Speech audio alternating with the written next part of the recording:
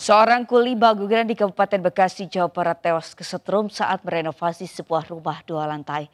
Diduga korban tewas akibat stop kontak yang digunakan memotong besi mengalami korsleting listrik. Warga desa Seriamur Tambun Utara Kabupaten Bekasi digegerkan dengan tewasnya Parnomo seorang kuli bangunan. Pria 30 tahun ini ditemukan sudah tidak bernyawa di lantai dua rumah warga saat melakukan renovasi. Diduga korban tewas akibat stop kontak yang sedang dipakai memotong besi mengalami korsleting listrik. Sebelumnya, warga mendengar teriakan korban dan saat didatangi, Purnomo sudah tewas terkapar di lantai. Dibantu warga setempat, polisi yang datang ke lokasi mengevakuasi jasad korban dari lantai dua rumah.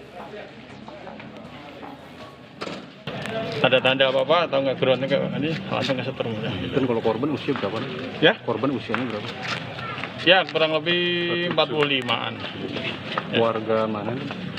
Banjarnegara Pak. Sementara korban dibawa ke mana? Langsung ke RSUD, langsung ke Banjarnegara. Banjarnegara.